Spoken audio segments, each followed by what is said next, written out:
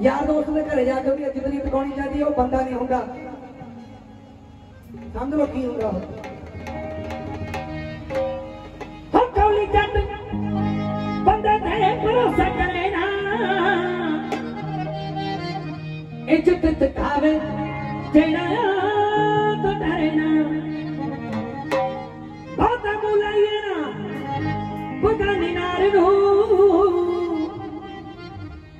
ਭਾਈ ਆ ਗੱਲ ਤੋਂ ਸਾਰੇ ਹੱਸ ਪਏ ਗਰੰਟੀ ਹੈ ਬਗਾਨੀ ਚੀਜ਼ ਹਰੇਕ ਬੰਦੇ ਨੂੰ ਵਧੀਆ ਲੱਗਦੀ ਹੈ ਚਾਹੇ ਮੋਟਰਸਾਈਕਲ ਹੋਵੇ, ਚਾਹੇ ਗੱਡੀ ਹੋਵੇ, ਤੇ ਚਾਹੇ ਹੋਵੇ।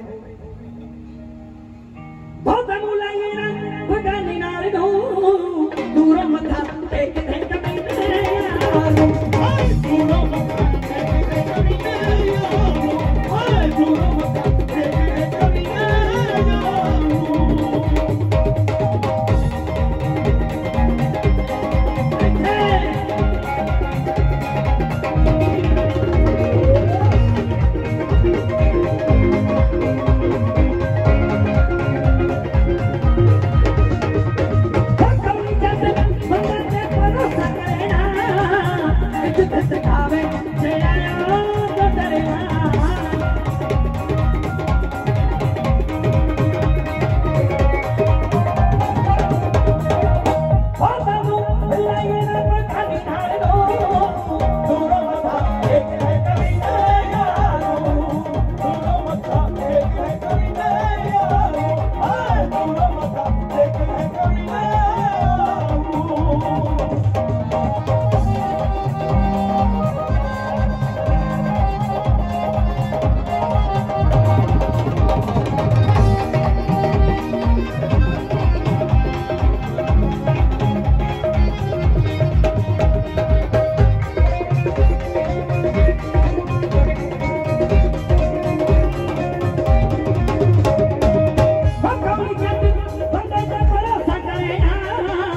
Agent Mr.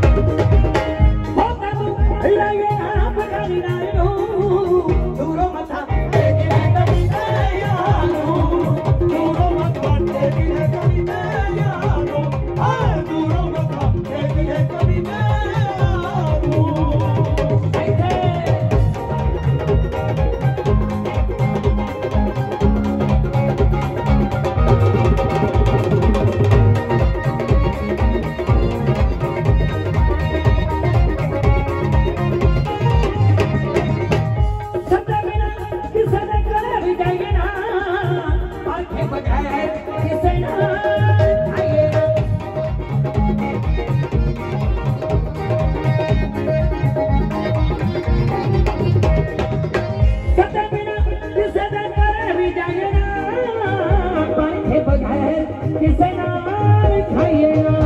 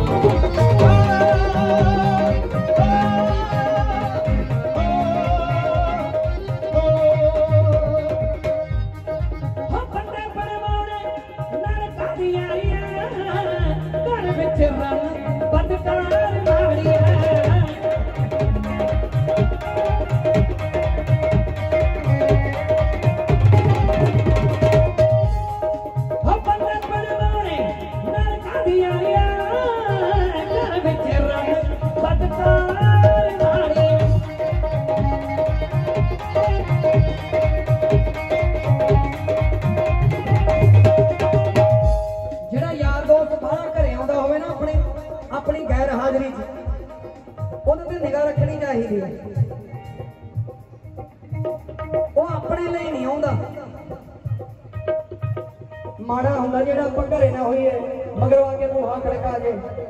ਹੋਏ ਅੱਖ ਥੱਲੇ ਰੱਖੇ ਯਾਰ ਹੁਸ਼ਿਆਰ ਨੂੰ, ਦੂਰੋਂ ਮੱਥਾ ਟੇਕ ਲੈ ਕਵੀ ਦੂਰੋਂ ਮੱਥਾ ਟੇਕ ਲੈ ਕਵੀ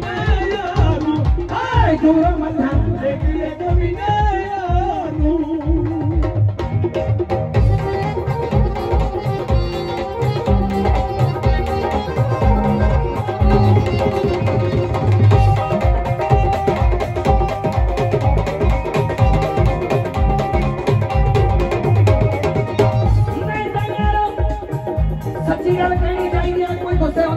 ਜਾਵੇ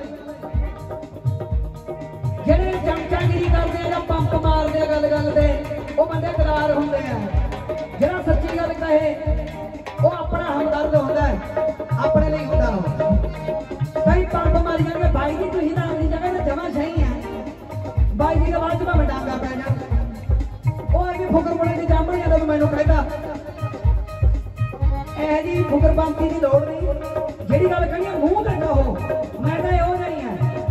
ਆ ਮੈਨੂੰ ਨਹੀਂ ਪਤਾ ਬਾਕੀਆਂ